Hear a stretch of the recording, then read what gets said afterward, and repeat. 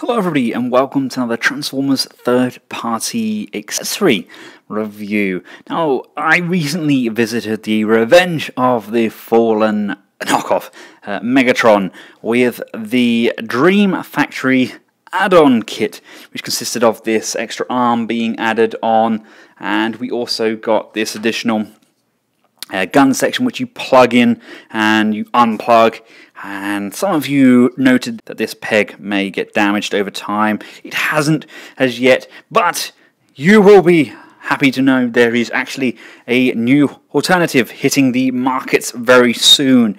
It is by Alien Attack. Those are the guys that did the Dark of the Moon Leadfoot upgrade kit. Uh, never heard of it? Well, click the information bar up here, take you straight through to the video. They are back with this. Boom! The Alien Attack APX02. Now there is an A, B, and C. I do have all three of those, although all of my box state A. Basically, the letters they correspond with different versions of the arm. We have three different paint schemes. We have the uh, matte grey, which goes with this Megatron. We have the silver, and then we have the black. I will show all three, but for now I'm going to be working with the grey version.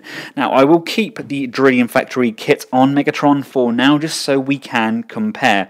First of all, let's bring in the arm. Uh, basically, you get two arms with this. You don't unfortunately get a left arm. The left arm I have on here at the moment is the one that comes with the KO, which I is actually a KO itself of the, I think it's the UFO accessories hand. Uh, so there we go, we can plug that in. That's the UFO hand, and he does not want to stand up. Stand up, Megatron, stand up. Right, this is the arm that you get with it. Detailing on this is nice. We do have Cybertronian text on here. It's a really nice high gloss black made of a very good plastic. It actually feels uh, much thicker than the one you get with the Dream Factory. It's it's similar, but it does feel uh, way more professional. The detailing is slightly more minimalistic, but I think it's actually more in keeping with the rest of Megatron. We've got this really nice bladed section on here with this little nozzle bit. We do have a little button under here if I can get to it. Uh, come on, there we go. Do you have a nice red LED blind you? A nice red LED light going on in there. Turn that off. There we go. We, like I say, we had this blade section which can be removed and shortened. This section here is on a ball joint. This can move. This section here is on a ball joint. The elbow is nicely ratcheted. We do get a rotation on the elbow as well. The shoulder come all the way out, gain really nice range of motion. We've got nice ratchet on this shoulder as well. Now the installation for this is exactly the same as what we got with Dream Factory version. Literally just unpeg and pull this peg off here like so. Peg that on, plug that in and then bend the arm and that's going to tab in on here like so. Like that.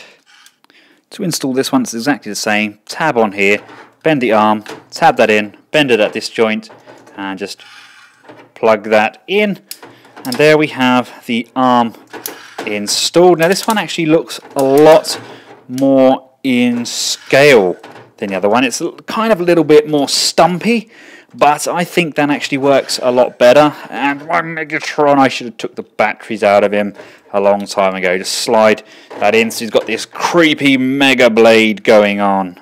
See, now I think that looks good. That looks very dominating, doesn't it?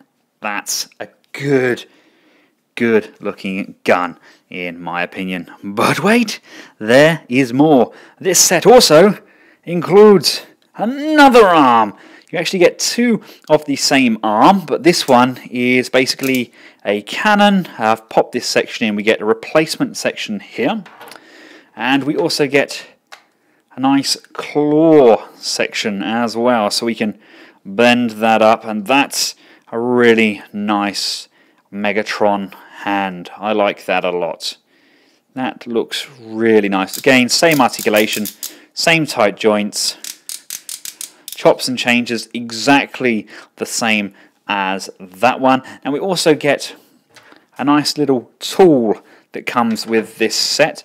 This tool basically, just to pop this in here and then wiggle this section out, because then that now allows us to put the other accessories in this gun as well. Although we can't quite fit the claw section hand in because the screw isn't quite sunk enough and the bulb does get in the way.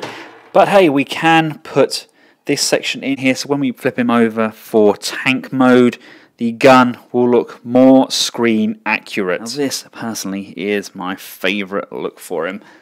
The arm itself is a little bit more simple, but uh, I really like how that looks it just looks really menacing. Now we also get these variations in colour. Now I know we had the Dark Energon, uh, then re-released Nightmare uh, Megatron, which I assume this one's for. What's this one for? I haven't been able to find a uh, metallic painted version of this guy. H have I missed one, or is it just the preferred colour scheme for the Nightmare Megatron? Can you guys let me know, because I would love a Megatron painted up like this. Now, for you movie fans, we also get these accessories in each set as well. I, I believe, are they both for Ratchet? I think they are. I know this is definitely uh, for Ratchet. I think. Oh, now you're making me doubt myself. I'm sure they are. I'm sure they're for a Ratchet.